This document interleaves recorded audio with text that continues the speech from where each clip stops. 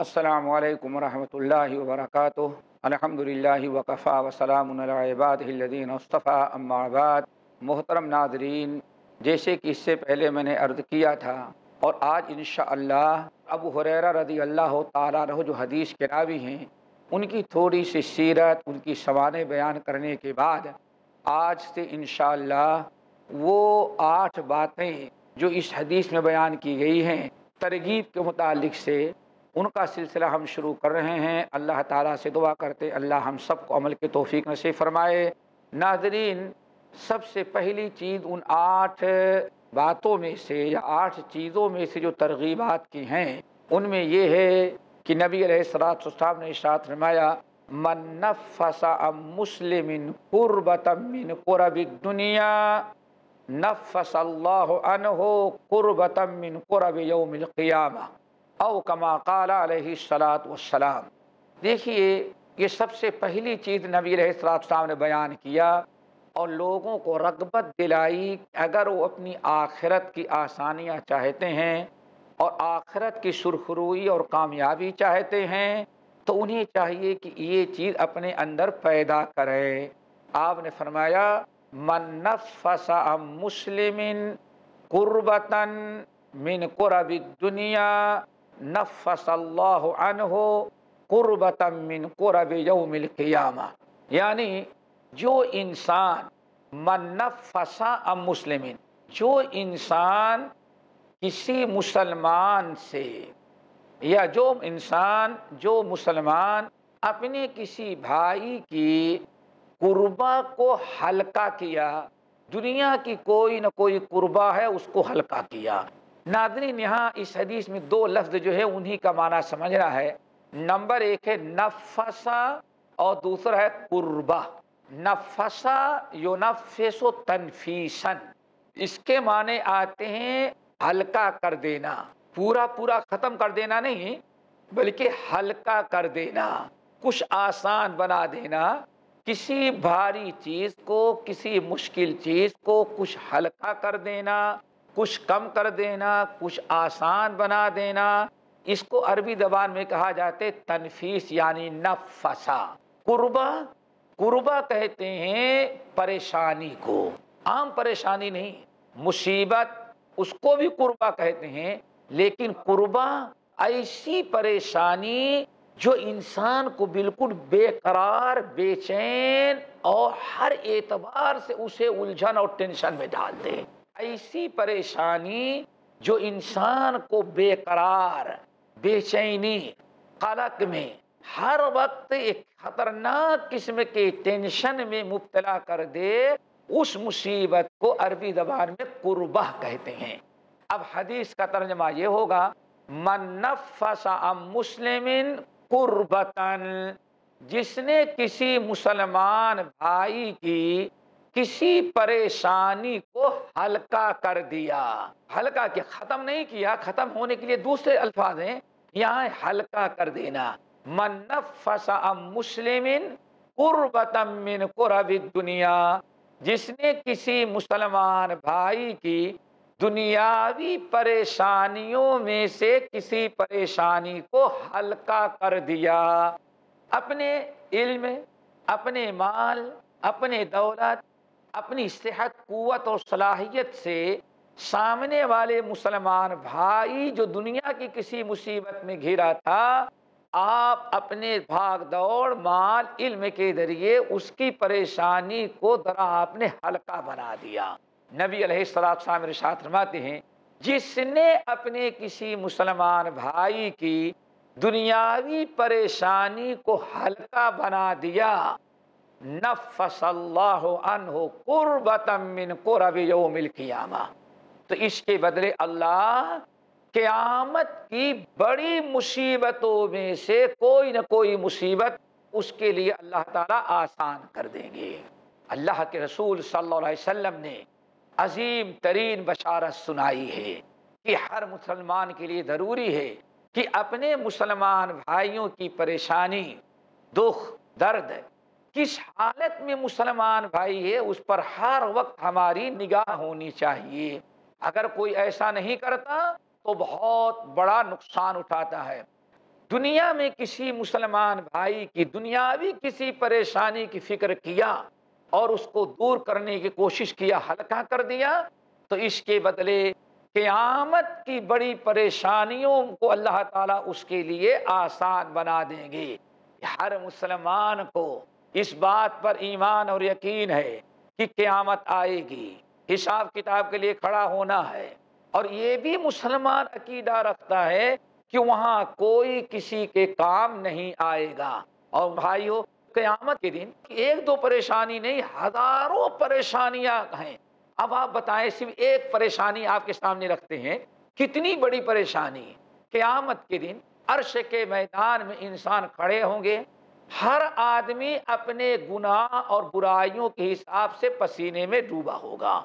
وہاں کوئی پانی کا سیلاب نہیں ہوگا، چٹیل میدان ہے، لیکن سورج اتنا انسان کے قریب کر دیا جائے گا اور اس قدر مسلمان تفش اور گرمی میں رہیں گے کہ سورج کی گرمی سے اتنا پسینہ نکلے گا کہ ہر آدمی اپنے گناہوں کے مطابق پسینے میں ڈوبا ہوگا۔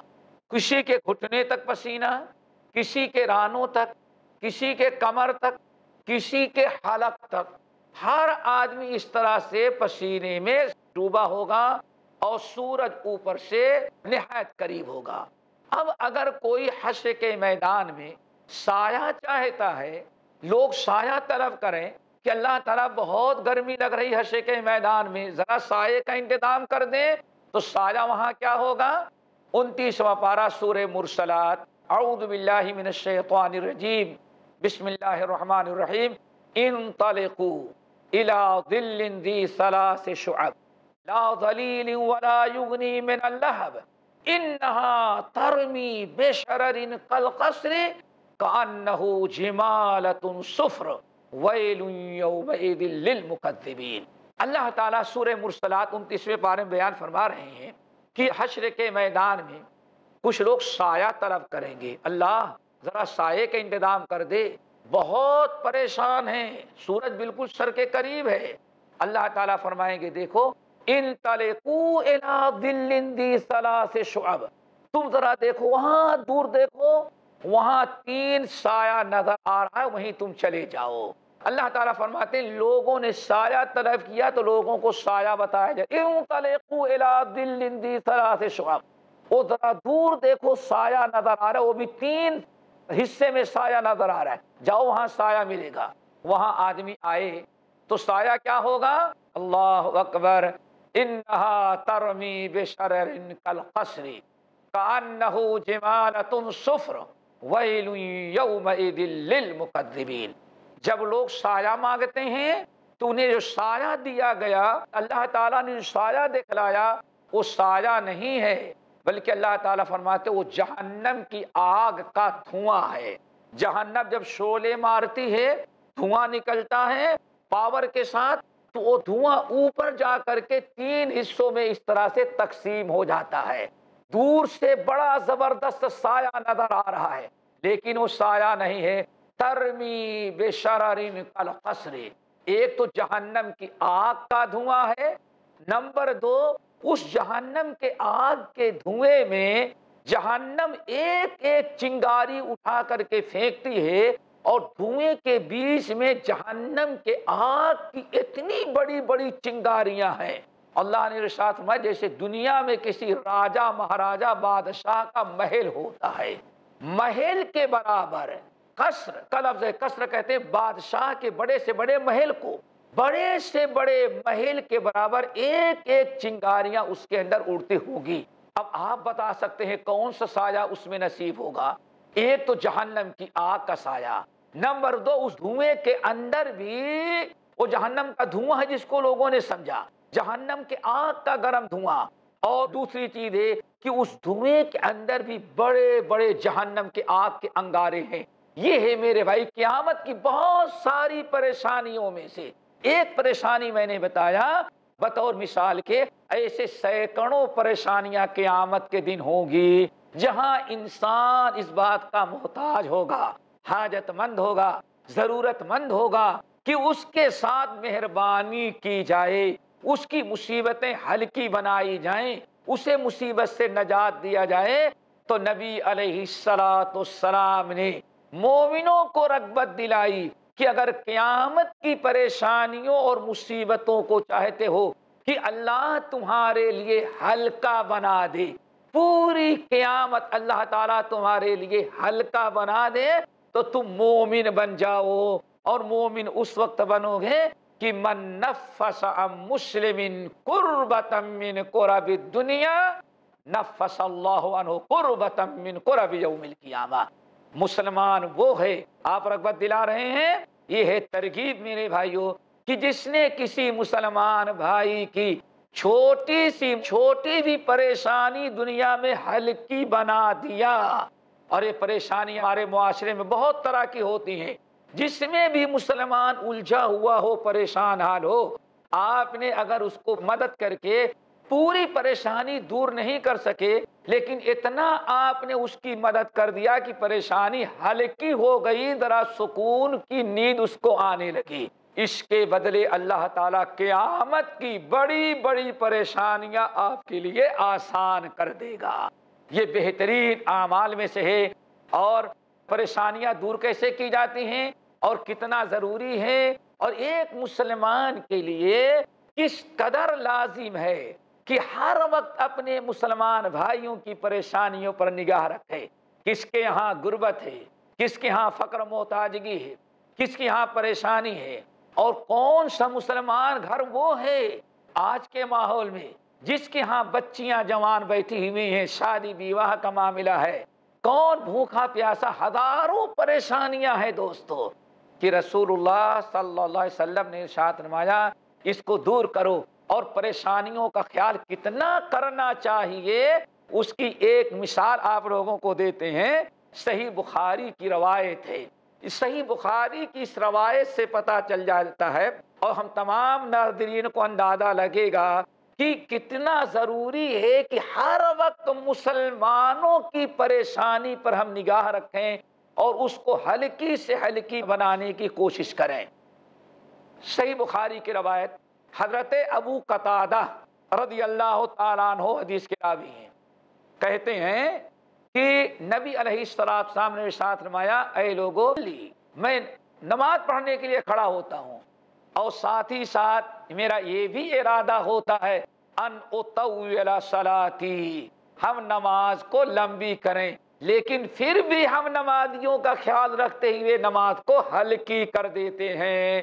نماز کے اندر بھی مسلمانوں کی پریشانی پر نگاہ رکھے اور اس کو حل کرنے کی کوشش کرے، اس کو ہلکا سے ہلکا بنانے کی جد و جہد کرے، اپنے مسلمان بھائی کی مدد کرے۔ اس کا اندازہ اس حدیث سے لگایا جا سکتا ہے جو آپ کے سامنے میں پڑھ رہا تھا۔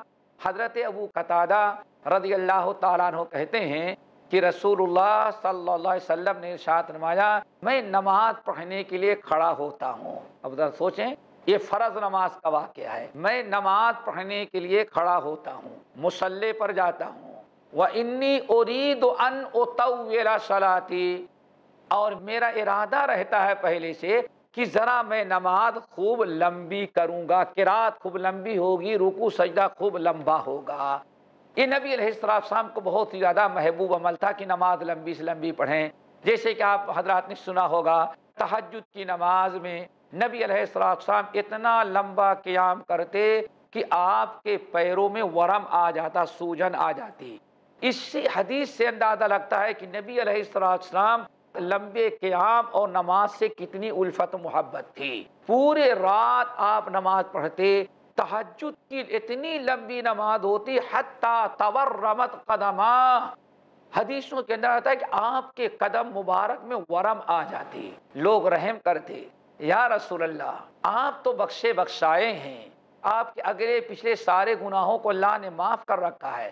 پھر آپ اتنی پریشانی و مشقت کیوں اٹھاتے ہیں؟ نبی علیہ السلام فرماتے، افلا اکون ابدن شکورا۔ لوگوں، میرے اوپر تو میرے رب نے اتنا کرم کیا کہ میرے اگلے پچھلے گناہ معاف کر دیے۔ تو کیا میں رات میں اتنا لمبا قیام کر کے اپنے رب کا شکر ادا نہ کروں، شکر گزار بندہ نہ بنوں؟ نبی علیہ السلام کو لمبی قرات لمبی نماز اتنی پسند تھی کہ اللہ تعالیٰ نے قرآن پاک کی آیت نادل کی۔ ما انزلنا علیک القرآن لتشقا ہمارے نبی، یہ آپ کیا کر رہے ہیں؟ آپ اپنے آپ کو اتنی مصیبت میں ڈال لے رہے ہیں۔ کہ آپ کے پیروں میں سوجا نہ جائے، آپ اتنی تکلیف کیوں برداشت کر رہے ہیں؟ ما انزلنا علیک القرآن لتشقا۔ ہم نے قرآن اس لیے نہیں نادل کیا کہ آپ پریشان ہو۔ ہم نے قرآن لوگوں کو عبرت و نصیحت کے لیے نادل کیا ہے۔ اتنے محبوب عمل میں آپ ہیں۔ فرماتے ہیں، میں نماز پڑھانے کے لیے محراب پر جاتا ہوں مسلح پر کھڑا ہوتا ہوں اور میں ارادہ کرتا ہوں کہ میں خوب لمبی نماز پڑھاؤں گا۔ لیکن نماز پڑھاتے پڑھاتے انی لا اسمع بکا الصبی۔ عورتیں جو نماز پڑھنے کے لیے آئی ہیں تو عورتوں کے حصے سے کسی کے بچے کی رونے کی آواز آ جاتی ہے۔ یہ بڑی عبرت کی چیز ہے میرے بھائیوں۔ ایک مسلمان دوسرے مسلمان کی تکلیف، پریشانی پر کس قدر نگاہ رکھنا چاہیے؟ سوچے اس حدیث پر غور کرے۔ آپ فرض نماز پڑھا رہے ہیں با جماعت نماز پڑھا رہے ہیں، آپ نیت باندھ چکے ہیں، لمبی قرات اور قیام کا ارادہ بھی آپ نے کر لیا ہے۔ سارا پلان اور ساری سوچ، سارا ارادہ آپ نے اچھا کر رکھا ہے۔ لیکن جب درمیان میں رسول اللہ علیہ وسلم رشاد فرماتے انی لاسم و بکا السبی میں نماز پڑھا رہا ہوں، لیکن کسی کے بچے کی رونے کی آواز آ جاتی ہے۔ جیسے بچے کی رونے کی آواز آتی ہے، تو فوراً میں اپنی نماز، فاتخفف اپنی نماز کو ہلکی کر دیتا ہوں۔ اب سوال یہ ہے ناظرین کہ فرض نماز میں ہیں، امامت آپ کر رہے ہیں اور آپ کتنی بھی لمبی نماز پڑھائیں، کسی مقتدی کو اعتراض بھی نہیں ہو سکتا۔ لیکن آپ نے ارادہ بھی کر لیا ہے۔ لیکن اس کے باوجود آپ اپنی نماز ہلکی کر دیتے ہیں۔